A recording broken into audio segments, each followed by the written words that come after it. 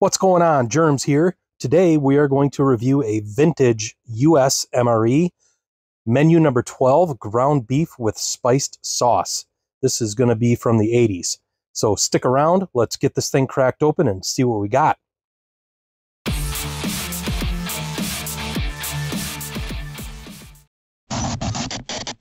All right, so this is a vintage MRE uh, from the 80s. This was uh, menu number 12 from about 1981 till 1987. And then after that, menu number 12 became e-scallop potatoes. Uh, so this is going to be from uh, the early 80s, and I'm interested to see what's in it. Had good luck with uh, older 80s MREs. Run, wondering when my luck is going to run out. Uh, but this particular MRE was packed uh, by Right Away Foods Corp in McAllen, Texas. So let's get this open. Let's see what we got and let's see if any of it is any good. All right, I'm going to open this from the back. I think I want to save this. Let's give it a smell. Oh, yeah, it smells old. Kind of has that old cabin smell, that old deer camp smell. Uh, it's not a bad smell either. So let's see what we got. First off, we got freeze-dried peaches, and they're not broken. So I'm sure these are going to be perfectly fine. I can't wait. We've got our beef with spiced sauce, and there is a date code on here, so this is going to be 1987, 22nd day of 1987. So last year production for this menu. Got our Army crackers, got our accessory packet A. We have a cookie, chocolate covered. This is probably going to be good too. And thankfully, we've got some peanut butter. I'm sure this is going to be fantastic. Well, there you have it. This is a 1987 MRE beef ground with spice sauce. Almost forgot. We got our old school MCI spoon. Let's slap this out onto a tray and we'll dig in. Perfect. All right, the first thing I want to do, I'm going to get this this main heated in some boiling water.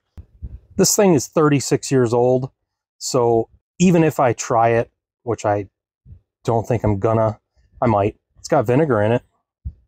I want it to be very well boiled and heated just to kill any of the creepy crawlies in there. So I'm going to get this open and we'll check out the uh, retort pouch, see what condition that is in. Everything else looks like it's in pretty decent shape. Okay, this retort pouch actually looks perfect. There doesn't look like there's anything wrong with it. I don't see well, I guess, no, I'm inspecting it, there is a little bit of bubbling there, but it's not bad.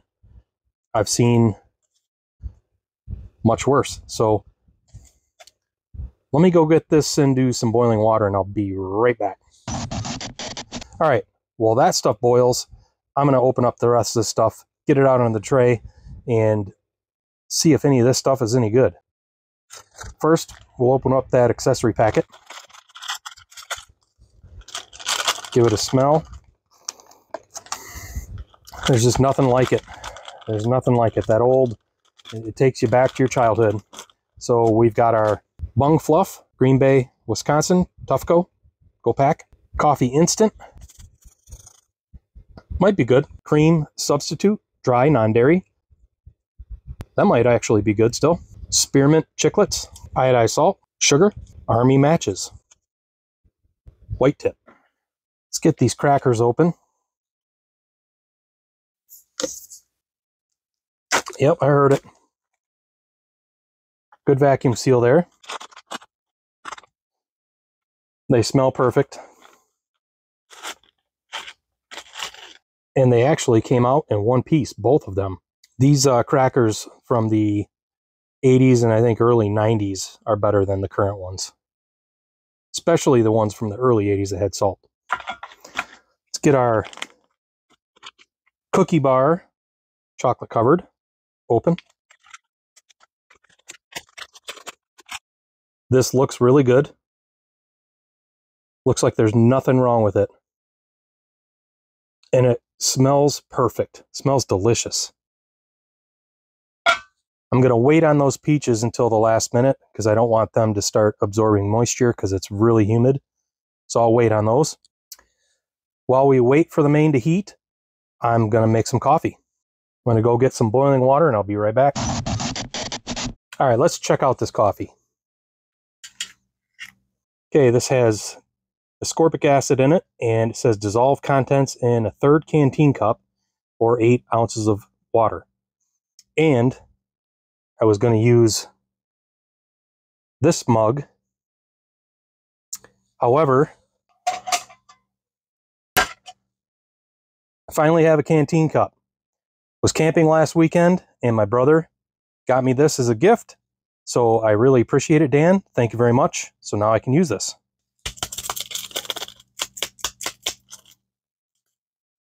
Hopefully this is good.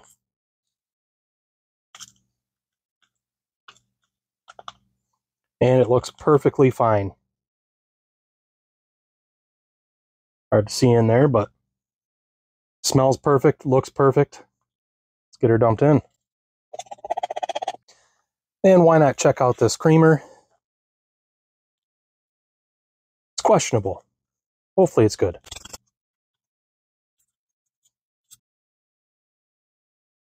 Perfectly fine. Smells good. We're going to dump that in. And we're going to do a little bit of sugar. Not the whole thing. Ah, what the hell.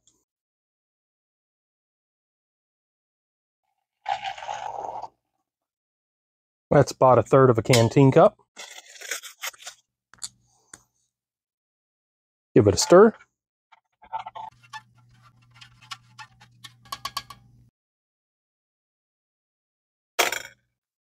All right, we'll let that cool off and set this over here.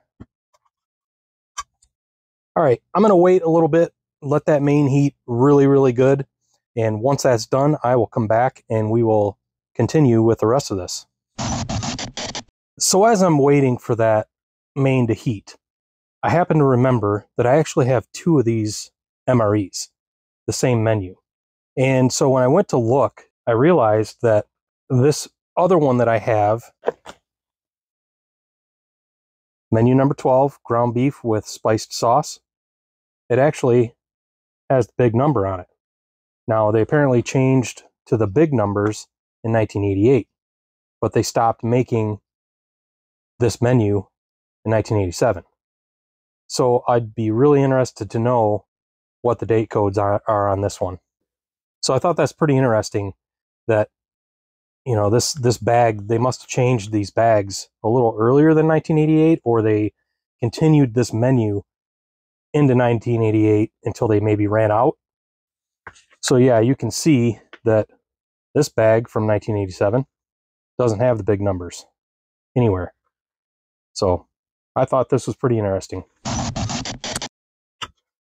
All right so that's been boiling for a good 20 minutes. So i think it's safe uh, so let's uh, let's continue opening stuff up and trying stuff. This pouch held up pretty well, didn't uh, delaminate, so I'm hoping this is going to be still good. Like I said, I've had good luck with these early uh, 80s. Actually, this is a, a mid to late 80s MRE, but I've had pretty good luck with 80s MREs. All right, so I want to let this cool just a bit because it is very hot. So let's check out this peanut butter. It's a little bit, it's a little bit hard at the ends, but it actually seems pretty good. It just needs to be mixed up. This old peanut butter is almost always good. I've only had one that that didn't taste quite right probably was okay, but it just was off just a bit.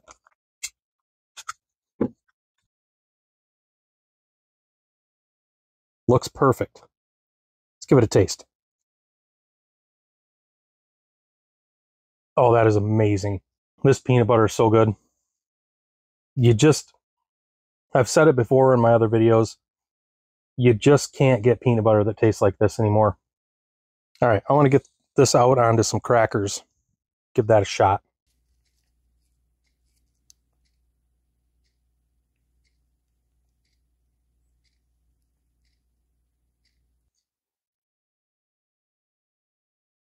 All right, let's give it a try.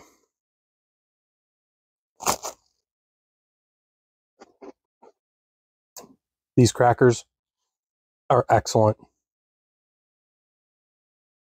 They're so good. Yeah, these are so good.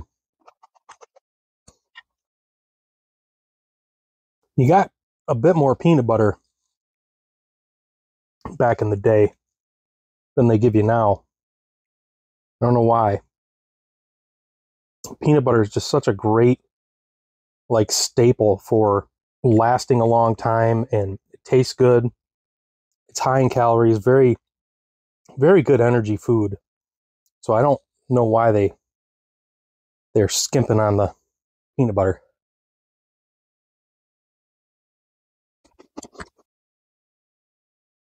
Man, such a great combo.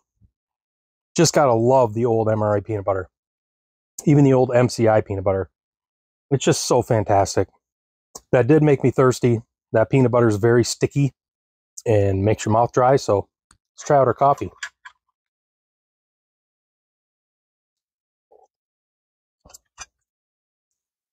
That's really good coffee. No complaints with that.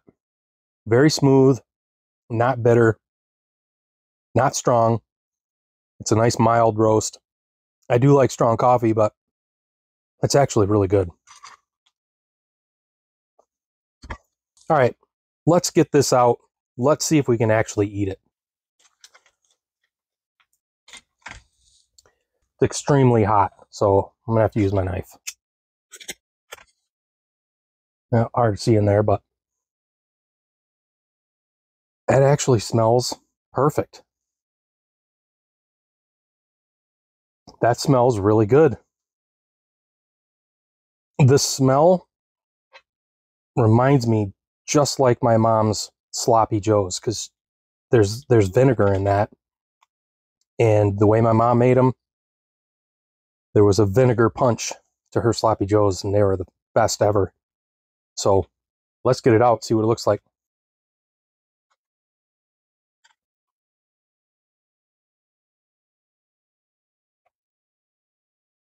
i have a feeling this is going to be good yeah this this actually looks good and it smells good. So, so I'm going to take a little bite.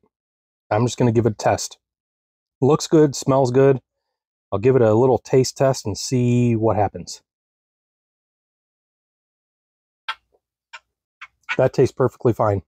I mean, that tastes, there is no off putting or off taste to this. Nothing smells rotten, nothing tastes rotten, nothing tastes off with this. That is perfectly fine.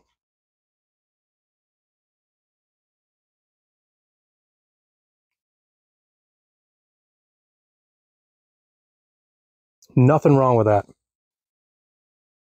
Wow. I am shocked. I guess I shouldn't be shocked like I said, I've had good luck with these 80s MREs. So I guess my lucky streak continues. I'm going to crunch up some crackers in there. Get a little bite.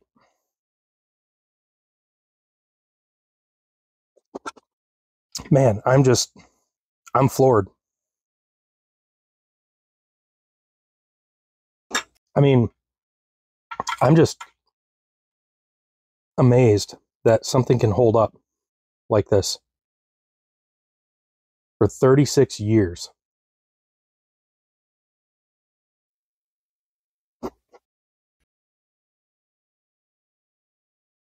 It, I mean, it looks perfect. Everything's perfect. So, like I said, this reminds me a lot of a sloppy Joe because tastes like a lot what my mom made homemade. There's, I don't really get spice. I'm not getting spice out of this at all. It's vinegary and it's sweet and there's tomato. It's, it's, there's ketchup in it and there's probably some mustard in there too.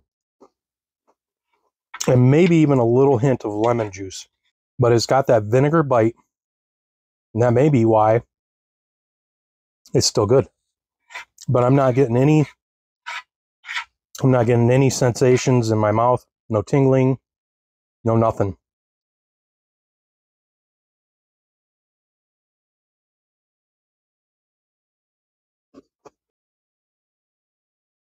This is really good.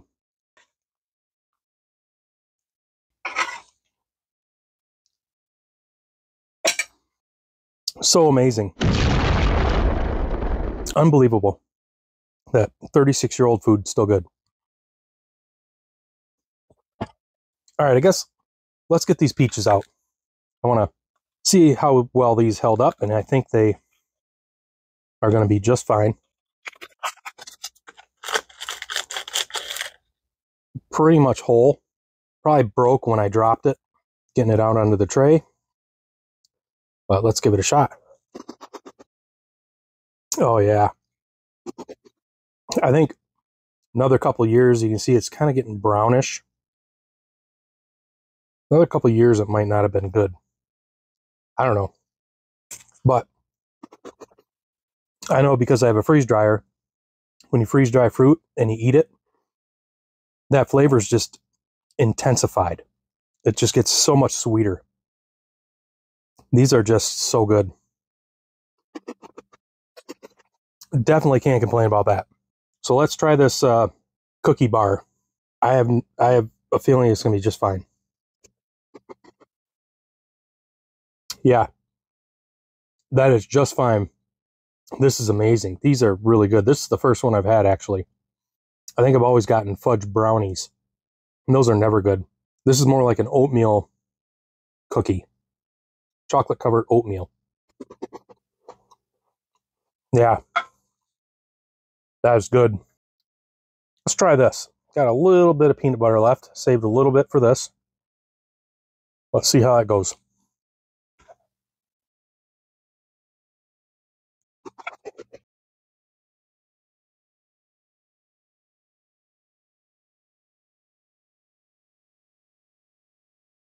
That is fantastic. That chocolate and the peanut butter goes so well together. And it pairs with that cookie. Oh, it's fantastic. I actually wish I had saved a little more peanut butter.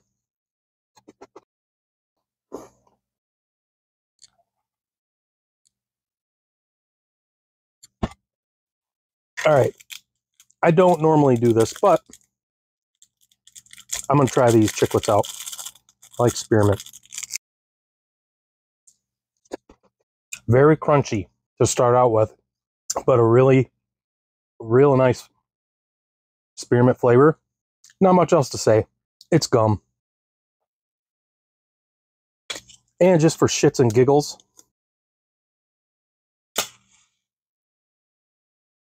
it works. All right, there you have it. What a journey this was.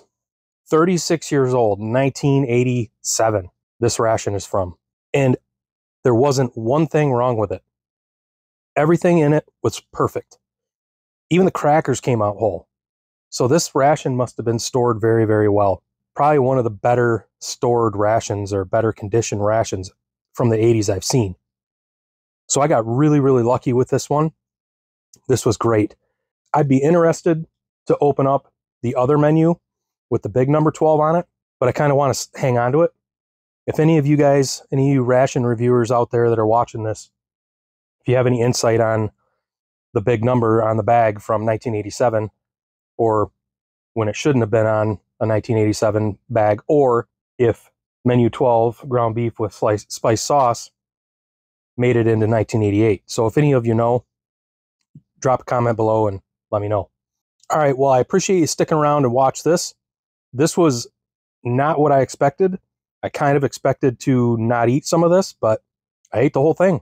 Maybe I should uh, put in the description tomorrow whether I'm alive or not. Um, but I have no reason to believe that I won't be. Um, everything looked and tasted and smelled great. So I appreciate you watching. If you're here still, please consider subscribing to my channel. Uh, give me a thumbs up, give me a like down below. drop a comment if you want. Click that notification bell so you're notified when I post new content. And I will be back doing another review, hopefully in about a week or so. So I appreciate you watching. Later. One last thing. It can't hurt, right? I mean, if there's any germs in Jerm's tummy, this should kill it.